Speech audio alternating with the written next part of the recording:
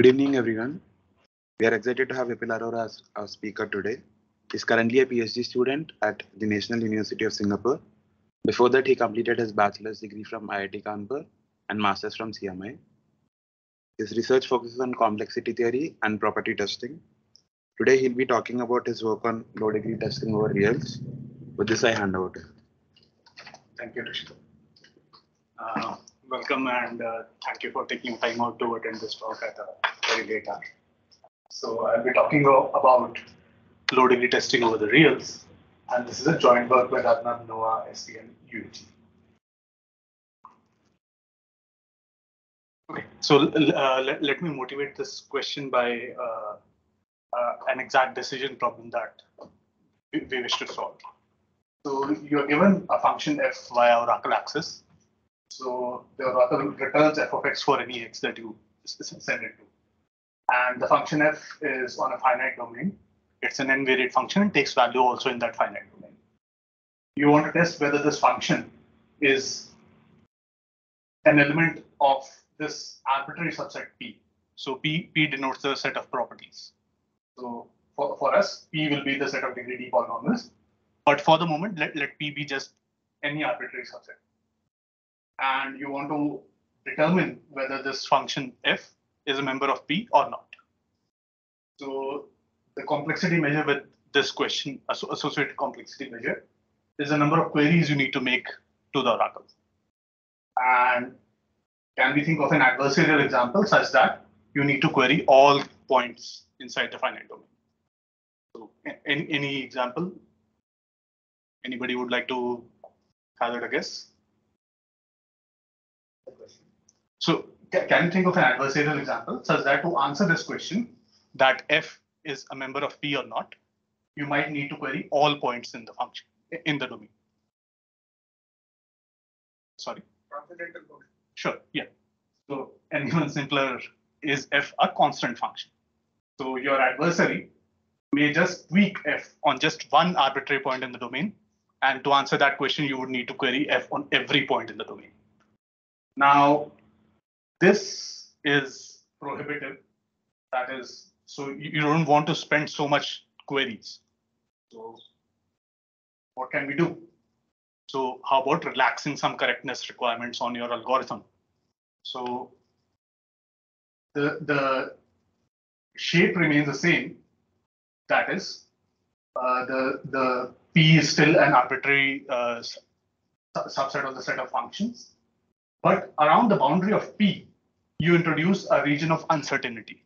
That is, your algorithm is allowed to fail in this epsilon width region.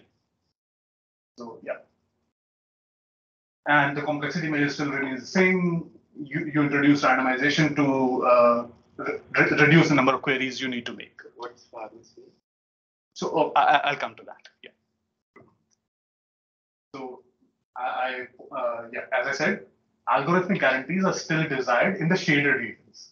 In this strip, your algorithm is allowed to fail. So th- th- this was uh, the setup of property testing. Now let's introduce property testing over the reals.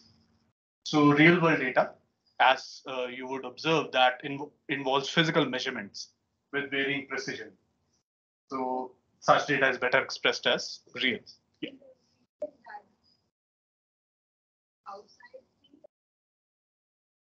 So, so if it's inside P, you would have a two-sided error tester. But a, a good tester in our understanding should be a one-sided error tester. And tha- that's what we achieve. So, okay, real world data uh, is better expressed as infinite precision arithmetic numbers. That is reals. So examples are temperature, pressure, RH, etc. And for functions defined over this kind of data, classical techniques that work over finite domains fall short. So we need to come up with something smarter to deal with these problems. Okay. So before I delve into the techniques and uh, the result, word of caution. So for working with reals, we will start our algorithm, our work, by assuming a real RAM model. So what do you do in a real RAM model? Memory cells, they can store real numbers. infinite precision. Memory IO operations with reals also possible in constant time. Oracle IO operations also possible in constant time. Infinite precision arithmetic operations, addition, multiplication, and identity tests also possible in constant time. And sampling from continuous distributions over Rn also possible in constant time. So th this is the real RAM assumption that we need to make to solve the problem. But we don't stop just over here. We incrementally remove these assumptions as well. Okay. So, so let's uh, start a formal setup. So you're given some uh, distance parameter epsilon between 0 and 1, the, the, the width of the strip in which your algorithm is allowed to fail. And with that parameter in hand, given query access to some bounded function, y bounded, I'll come to it shortly, over Rn, also taking values in R, you want to test if f is a function of total degree t, uh, a polynomial of total degree t, or is epsilon far from being 1. An example of degree 3 polynomial over R2, you must be very familiar with all of this. So the notion of farness, as you asked, is quantified by the distance measured with respect to some sampleable but unknown target distribution B. And we would say that f is epsilon far from this property P with respect to the distribution B if the function, if the distance between f and P is at least epsilon. How do I define the function?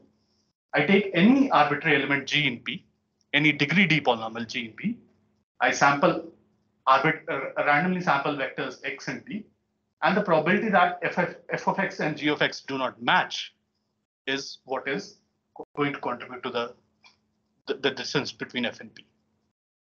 So think of this as the, the fraction of the mass of b on which f disagrees with an arbitrary degree d polynomial. Okay. So this doesn't capture how far the difference. Right? No, it does. So, so if this was very small, then f would be very close to g, right? Whenever they're different, Mhm. they can be very far from each other or very close. Yeah, yeah. So, so it's a Hamming kind of distance. Yeah. Uh, Is any distribution? D, D can be any unknown target distribution D. You, you, you just need query access to D. So we, we solve that problem as well where you, you want to dis, uh, uh, get, get the idea of how F and G, how far they are in, in uh, subsequent results as well. So, okay, the distance between F and P is defined. And okay, so for, this uh, talk, P would be the set of total degree D polynomials in R. Yeah. Okay, so okay, uh, uh, yeah. So boundedness means that the function f is bounded in a large ball. So large is very large in our case, but so so think of this as the function f does not uh, go to infinity in inside a large ball. Okay. So so so, so Polynomial doesn't seem bounded. That's no so, so in, in a large ball. So the input is in a large. Huh? The input is also bounded. yeah, so so if the input is bounded, Then the output. the norm of the input vectors are bounded. Okay. Therefore, the function value on that vector is also bounded at most. Like, okay, The bounded input is bounded. yeah, yeah. So, so, so that that's the minimum assumption that we need to make to solve this problem.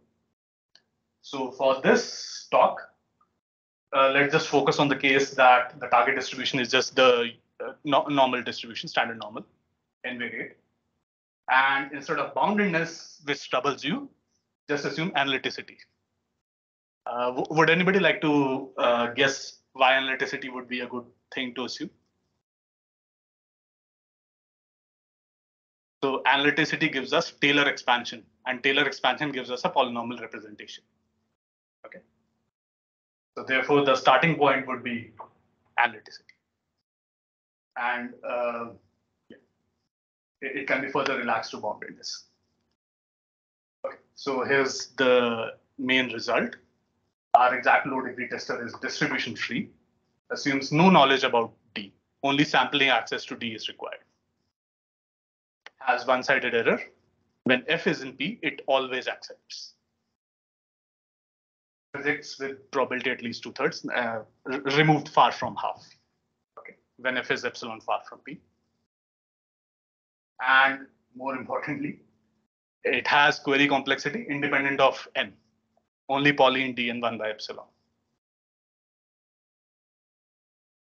And the, the, the trivial approach, uh, the, the brute force approach, would be to uh, use multivariate polynomial representation to learn a degree D invariant polynomial and verify whether f is close to it or not, which would require exponential in D or order into the D queries. But our approach is just poly in D and 1 by epsilon indep- independent of n. So it beats this approach by a long shot. So what is the, how do you make the query? Do we specify an x and y? Yeah, yeah. So to the oracle, you just send an x and it returns f of x. Let's say my distribution is all concentrated at one point. So so that, that that's good, right? If, if it's all concentrated at one, yeah. Oh, So so yeah. So atoms like distributions are trivial. and it's the first to solve this problem over any continuous domain. So before this, it was done only over finite domains. So again, uh, with finite domains, wh- wh- what's the good thing? Anybody would like to guess? Yeah. So that, that's one thing. Uh, the, the query complexity is trivially bounded by the size of the domain. But with finite domains, any function over a finite domain has a trivial polynomial representation. So any function is a polynomial. No, no. A, an arbitrary, so, so the, the degree of the polynomial over that finite domain is the size of the domain. So after that, it just, the question devolves to reducing the degree. So, but over characteristic zero fields, not so. You, you first need to get a polynomial repre- representation. Okay. Yeah, so as I said, uh, the real RAM model assumes a lot of uh, uh, power that is not available in uh, modern computers. So to meet real world machines, we extend our result twofold.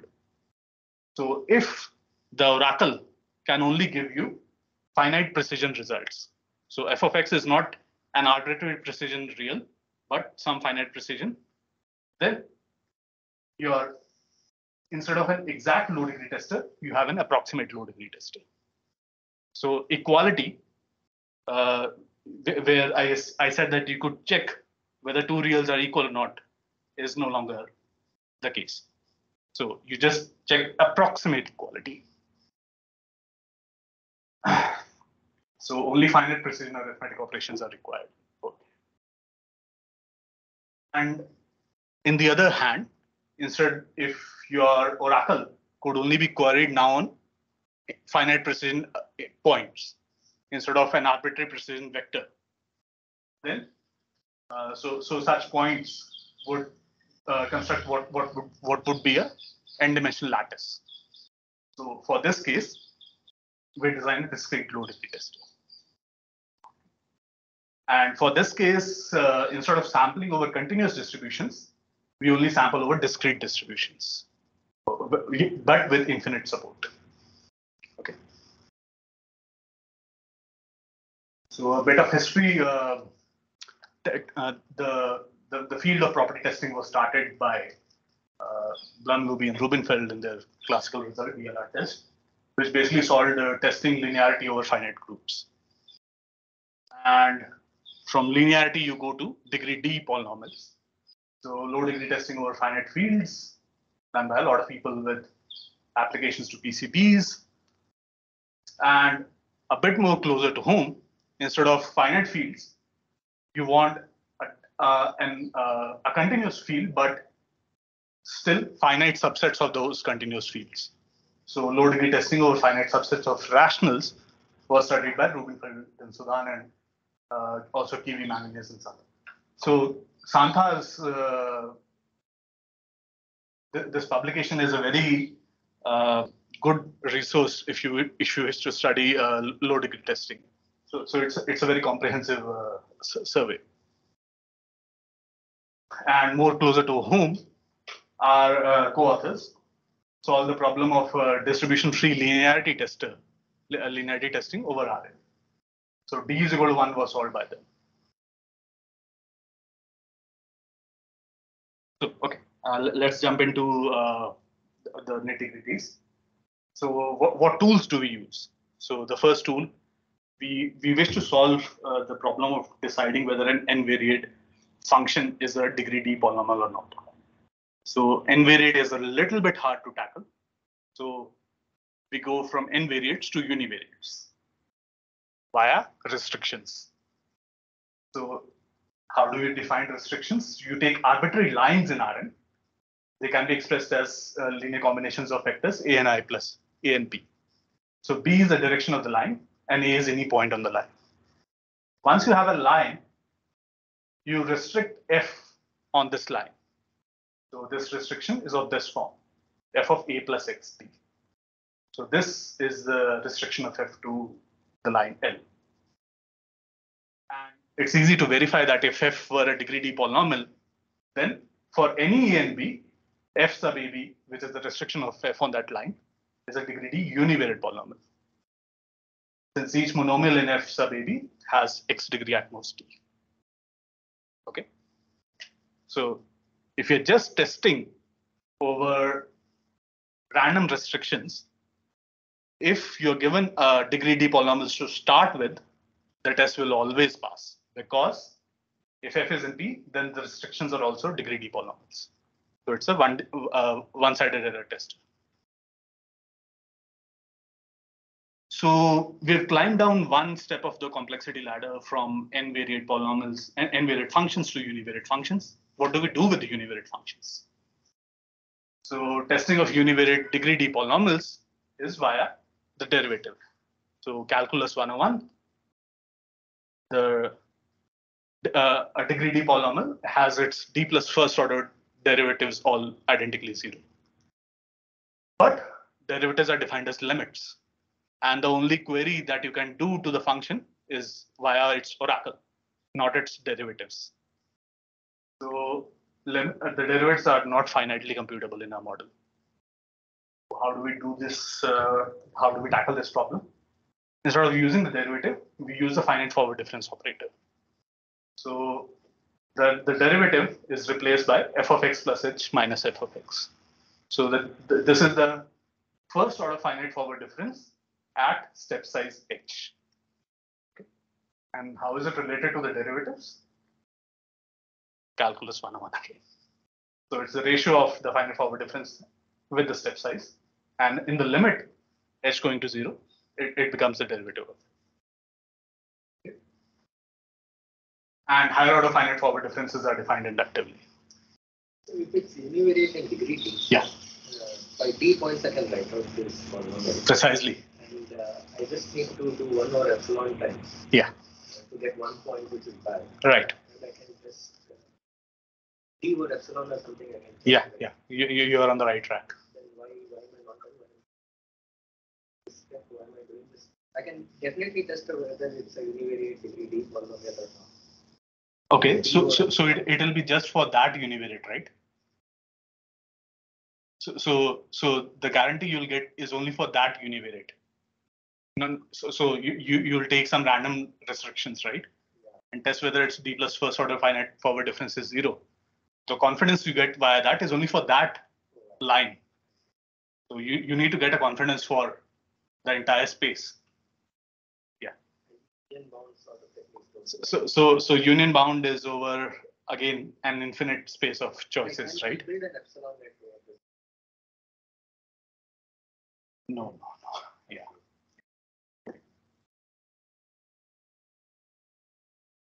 So okay, so higher order finite forward differences are defined induct- inductively. So the mth uh, order finite forward difference is that when you expand this out, it, it gets this nice combinatorial form. So you have summation m choose i, f of x plus ih with alternating signs. And these combinatorial coefficients with alternating signs, we, we just denote by alpha i. So, so this representation might be familiar, Pascal's triangle. Anybody? Yeah. So, okay.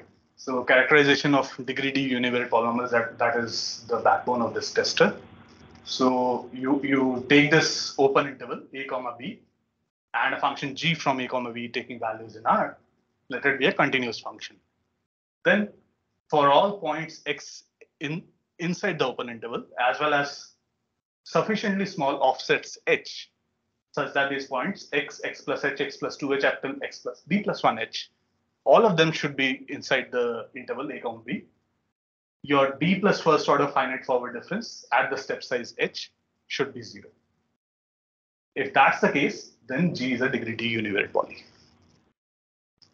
So, so precisely these points, x, x plus h up till x plus d plus 1h, are the arguments for G over here. So you, you want all of them to lie in the interval a comma b because the, guarantee that you want is that G, which is from A comma B, should be a degree D poly. You, you don't worry about points outside A comma B.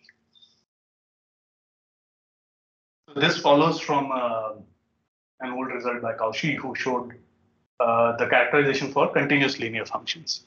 So if D would be 1 over here, you would get essentially three terms, which is precisely this characterization. And Frechet, uh, improved upon this to get uh, the above theorem for arbitrary degree d, but for continuous functions. And a further relaxation, which, which is what is what we use, was by Ciesielski, who relaxed this from continuous to bounded functions.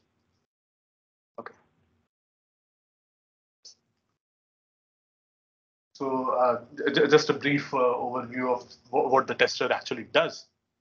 So it rejects if the characterization test rejects. The characterization test is precisely this. It, it the, the characterization test randomly samples lines a comma b, tests whether the d plus first order derivative is identically zero on that line. Yeah, and if not, it rejects. So yeah. And then uh, once you pass this characterization test, your algorithm gets sufficient confidence that the function is sufficiently close to a degree D poly. So how close? You, you develop this query G uh, subroutine, which measures which measures the distance between f and a nearby close degree D poly. So yeah, if query G and f of p do not match, then also you've found a witness that f is not a degree D poly, and therefore you reject. And in the end, if none of these rejections cause a rejection, then f is reasonably close to a degree D poly. Th th that's what we should. And observe that this query G, which defines a function G, is called only when characterization test passes. So this will be useful later. Okay. We also have access to distribution. Which one? You're sampling P from the distribution. Yeah, so so you have sample access to D. The, the two types of uh, uh, queries you can make. One is like specify the X, Y, Z, and so on. Right. And you get a sample, and yeah. you can also sample from the distribution. Yeah, yeah. So, so the, the only handle that you have on the distribution is just sampling access. On the function, you need query access. Yeah. So query of G of P, it samples some points around P and it constructs a function G around P, at P in fact, such that G should be a degree D poly. So, so what, what it does is if f of P does not match G of P at that point, you, you, you get a sufficient confidence that G must be not a degree D poly. So, so query G uh, so, sort of constructs uh, a, a, nearby polynomial.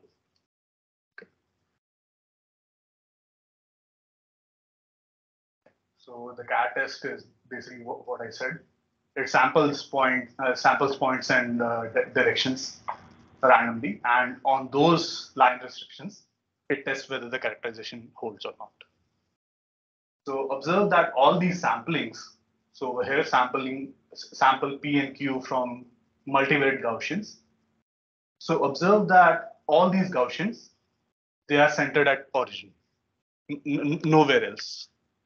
So, so th- this is also uh, is crucial in the algorithm design because you can't. Uh, so, so in order to gain confidence over a space, your algorithm can't uh, test or, or can't sample over that over that continuous space, right?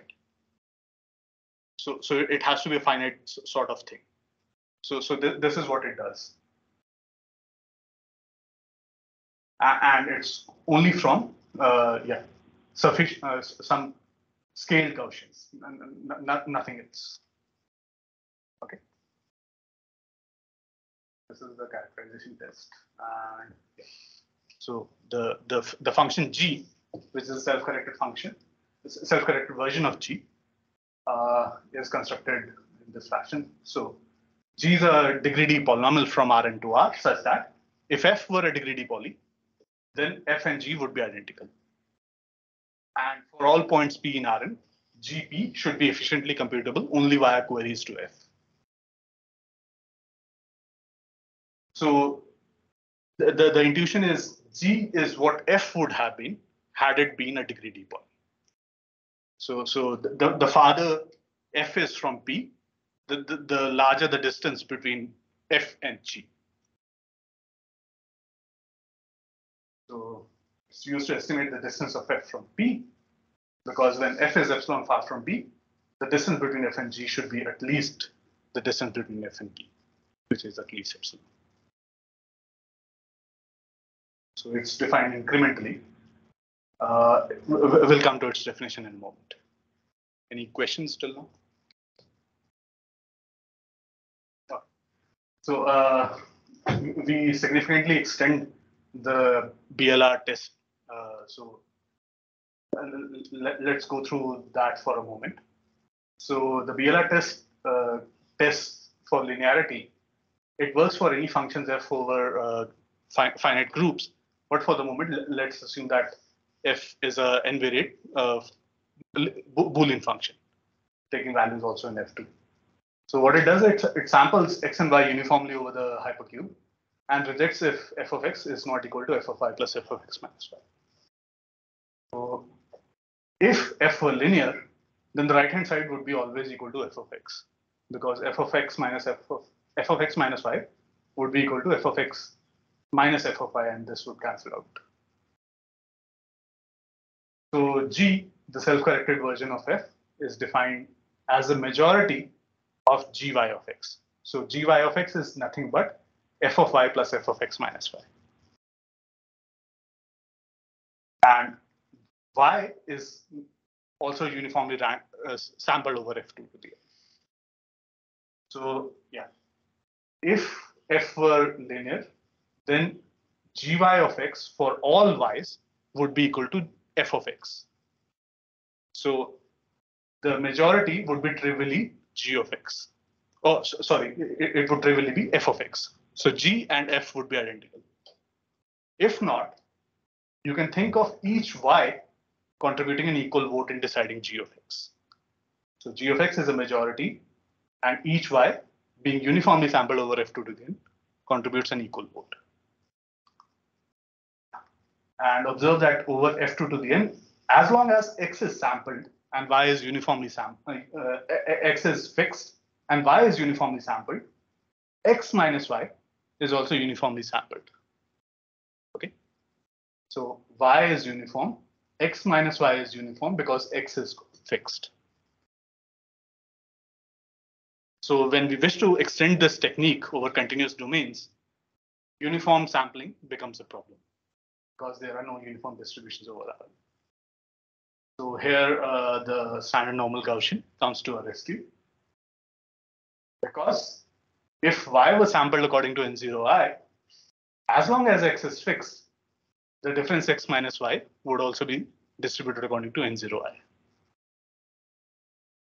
Now, okay. And this cute uh, proof, uh, th- th- this cute lit- little lemma that as long as uh, the the variances of two distributions are the same, the, the total variation distance between translated Gaussians is bounded by at most the translation times the scale of the Gaussian. So th th this is very useful. So, okay. As long as, so we want to bound this. So as long as x, the norm of x is small, n uh, xi can be approximated by n0i for, for testing purposes.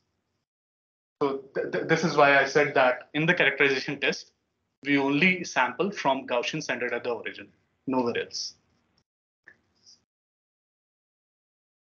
And to ensure uh, x is small, what we do is we radially project points x in Rn into a small open ball of radius r.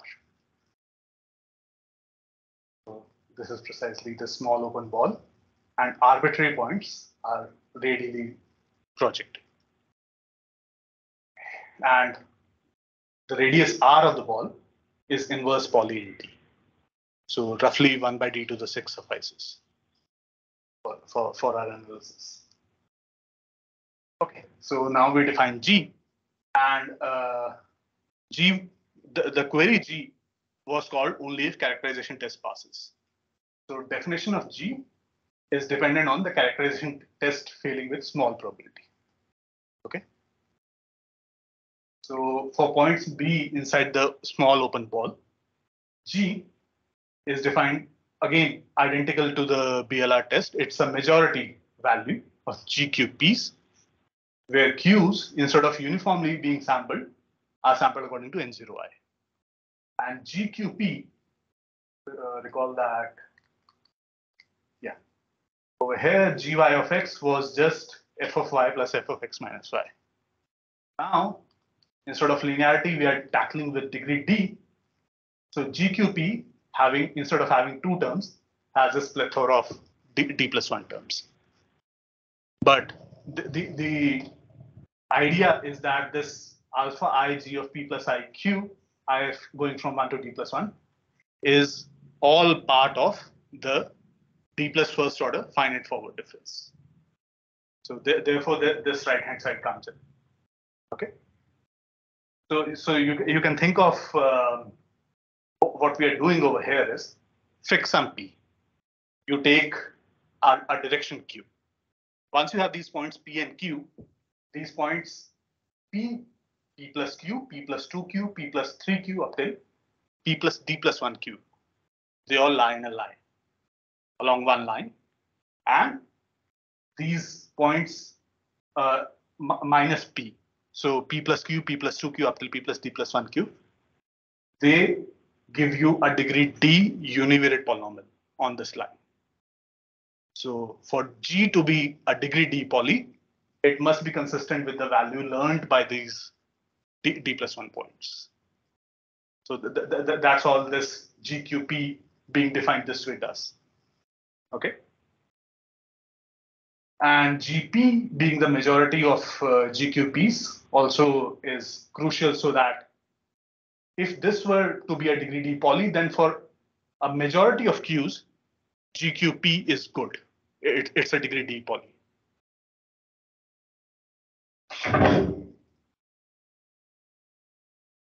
So existence of this majority, which is really a mode, is guaranteed by cat test passing with high probability. So we assume that cat test passes with high probability. Okay, so this was for points B inside the open ball. For points B outside, we, we don't need to go through this convolution convoluted fashion. We just define GP via radial interpolation. So radial interpolation is along a line, uh, a radial line connecting the origin P. What do I mean by that? So for a point P, you join it to the origin and take the intersection of the line with the ball of radius r. Now it's a real space, so reals are dense. So no matter how small r is, you will always find d plus one distinct points inside the intersection.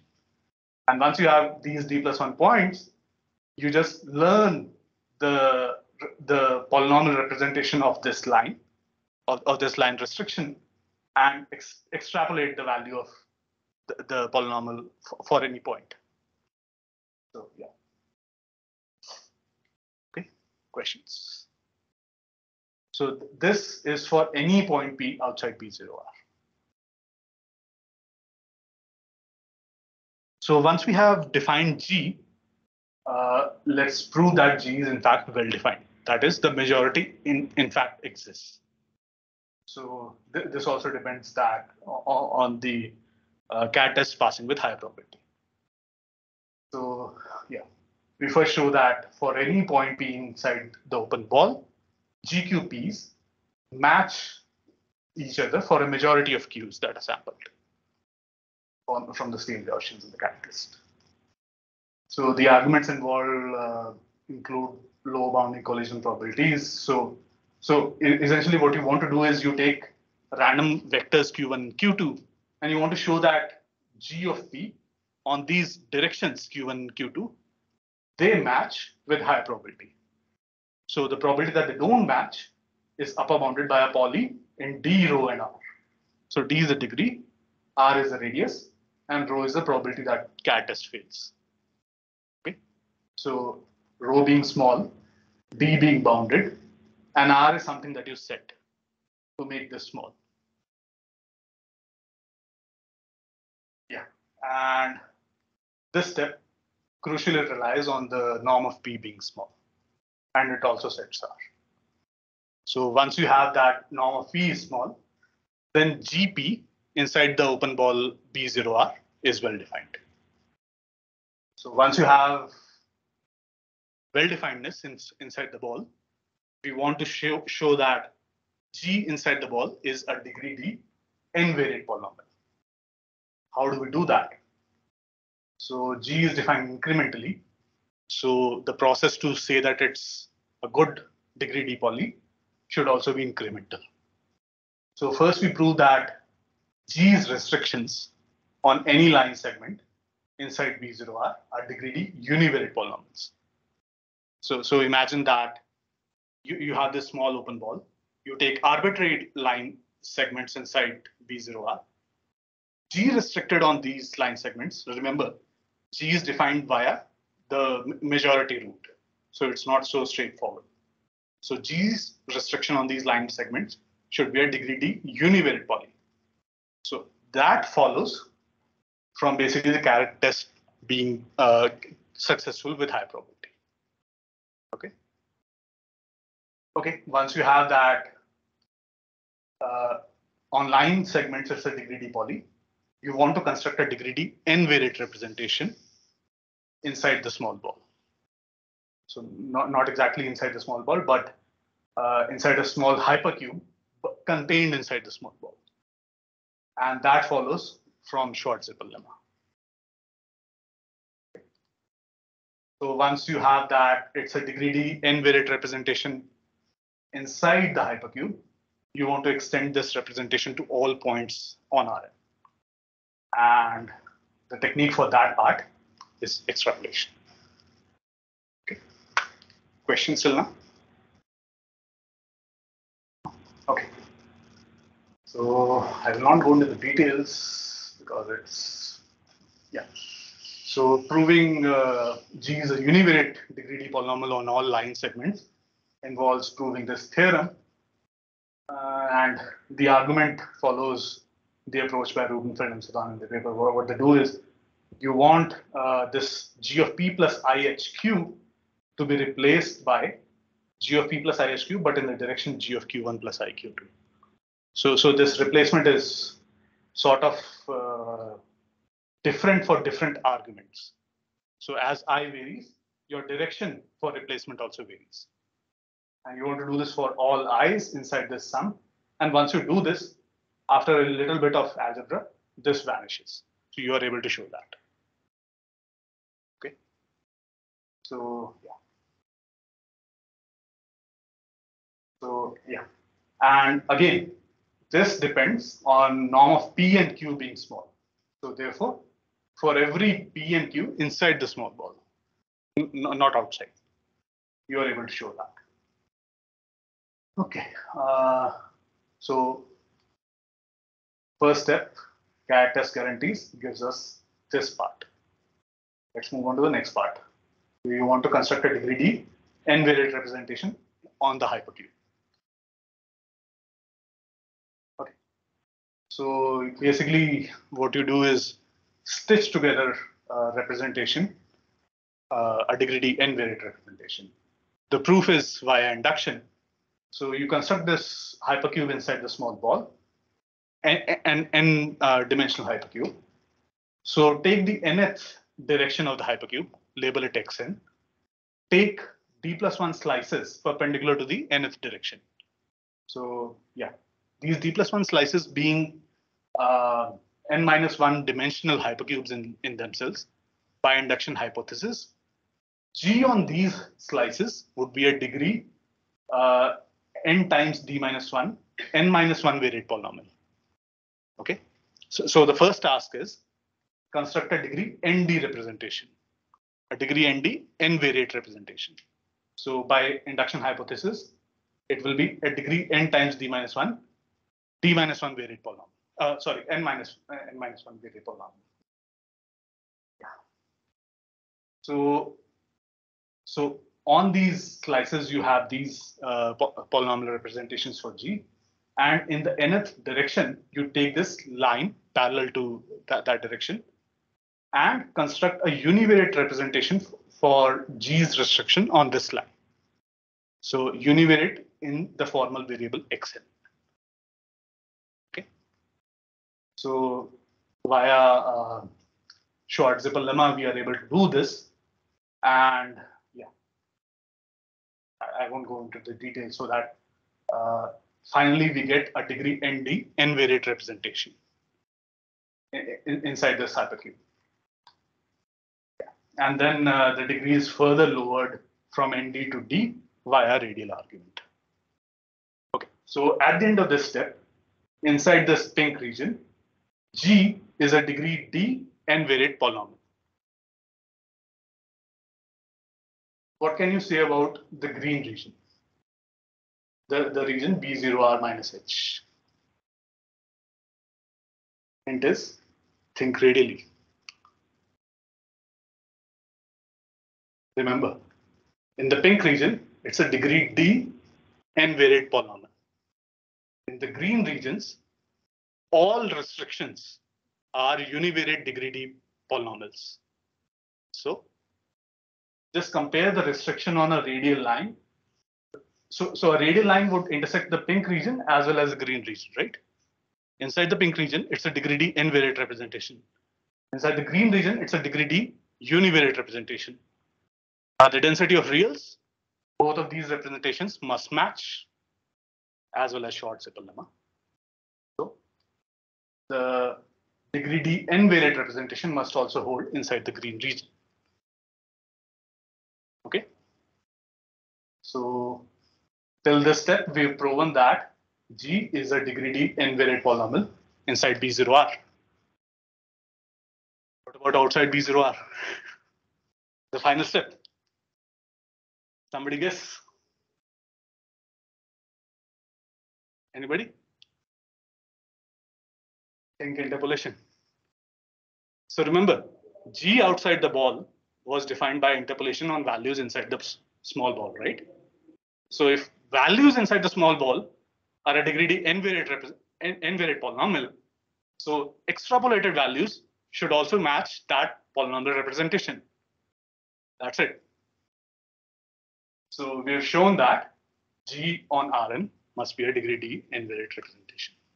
Polynomials. Questions? Okay.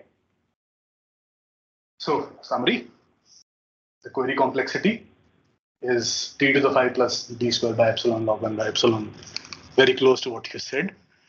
Uh, d to the 5 is contributed by the CAD test and 1 by epsilon log 1 by epsilon is by the distance measurement function. Assumes a real RAM model. Beats multivariate polynomial interpolation, which requires order into the D queries. And now we'll talk about the extensions. For uh, the extension that I mentioned, the this exact tester is modified without affecting the query complexity. What is the complexity of linearity? So complexity of linearity testing is, yeah, so one by epsilon log one by epsilon. Yeah, yeah. It, it matches. So approximate uh, low degree testing. So instead of having exact computations over infinite precision arithmetic, you have finite precision numbers. So you can you can view this as the oracle gives you some answers, but the channel on which the answers are communicated has noise. So noisy outputs by the oracle are handled in this model. So we accept the function f if you have some uh, degree d poly h hat such that for every point inside the domain, f and h hat are at most alpha far. So alpha is the level of noise inside the channel. Okay. And you reject if so over there, you had that F and H hat don't match, Rishi. In, in the exact test, so you had F and H hat don't match. Over here, they are far, beta far, with probability at least epsilon. Yeah, so this is a natural extension of that. Okay. And we test F for the characterization approximately. On there, there we tested the characterization exactly. Here it's approximate. And we prove that if approx cat test rejects with low probability, then also we can construct a degree D n-variate polynomial close enough to F. Uh, in the exact tester, we were able to construct a degree D n-variate polynomial that exactly matched F, but here it's close enough. So formally, okay. So th this is the closeness over here. So uh, it's a hard to read thing, but the parameters are not so good.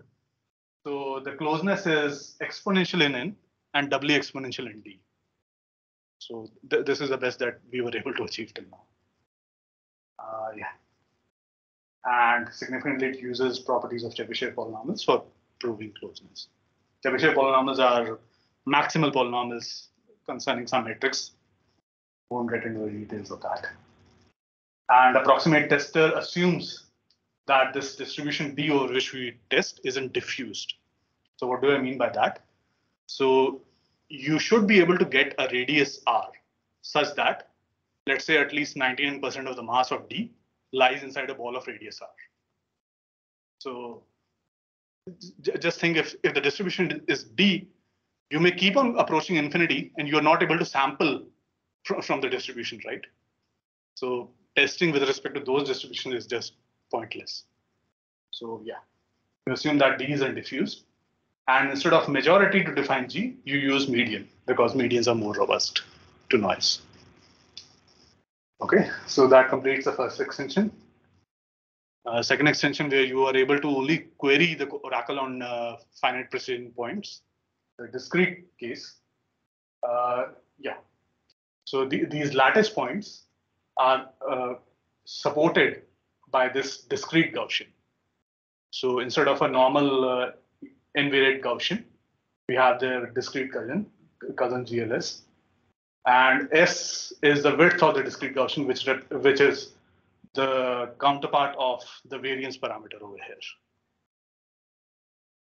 So, so imagine that you have an invariant uh, Gaussian distribution and you impose uh, an invariant n-dimensional lattice z, z to the n multiplied by a smooth a fineness parameter.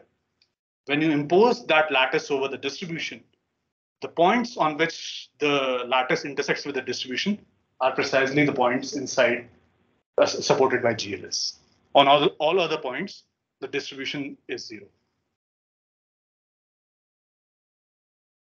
Yeah, so the, the law for GLS is precisely this, which is identical to the law for N0R. And uh, the, the cute fact that we used uh, for exact testers where uh, N0 Ki and Nx Ki, the total variation distance between them was bounded by uh, the norm of x and k, has a counterpart over here. So what, what do we do on a fine enough lattice? minute, minutely translated discrete Gaussians, the translation x is small, can in turn be approximated by corresponding centered discrete Gaussians. So again, instead of G being centered over arbitrary points, we only need G centered over the origin for our tester. And the discrete tester also doesn't assume uh, D is uh, also assumes that D is diffuse. And uh, it also requires query access to F on a final lattice. So let, us say that you want to test whether F supported on L is a degree D poly. Not only does it require query access to F on L, it also requires query access to F on a refinement of L. So it, it's, it's something that we couldn't resolve, but we, we assume that it's there. Okay. But more importantly, it doesn't require F to be bounded at all. So bounded assumption is done away. And this is an interesting application of discrete Gaussians outside of lattice-based cryptography. Open questions. Uh, tightness is unresolved. So the only lower bound is a trivial lower bound, omega max of 1 by epsilon t. Well, uh, all communication complexity techniques fail when you want to extend them over to the re reals. So something new is needed. And our parameter gap, beta minus alpha, for which the prox tester works, as I said, exponential in n and doubly exponential in d, is something that needs to be scaled down. And discrete tester, as I said, the Oracle queries to f on f, refinement of it. That is uh, very non-intuitive. Maybe it can be removed. Yeah. Uh, questions, comments? Can you uh, tell the last one, last discrete tester? Oh. So, so which part did you? Next slide. Slide. Last question. Oh, so discrete tester requires Oracle access to F on a final lattice. So, oh, okay. So say that uh, you want to test whether F supported on a lattice L is a degree D poly or far from it. To answer that question, you not only need F, like Oracle access to F on L, but on refinement of L. So let's say like the, the refinement is like half L, one by three L, and so on. So you, you need uh, th th those kind of Oracle queries as well. More questions, comments?